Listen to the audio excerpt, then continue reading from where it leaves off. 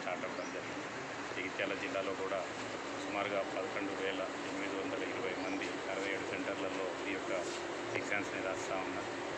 అన్ని సెంటర్స్లో CC cameras పెట్టడం జరిగింది.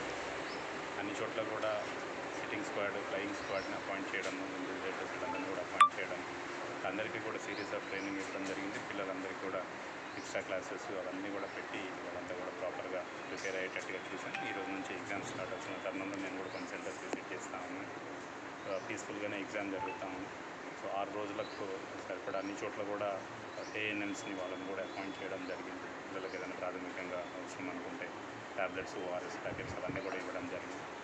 దీంతో పాటు ప్రతి సెంటర్లో కూడా ఒక సీనియర్ లెవెల్ ఆఫీసర్ని పెట్టడం జరిగింది. అక్కడ ఉన్న ఫెసిలిటీస్ని దృష్టిలో పెట్టుకొని వాళ్ళు ఎప్పటికప్పుడు అప్డేట్ చేసే విధంగా.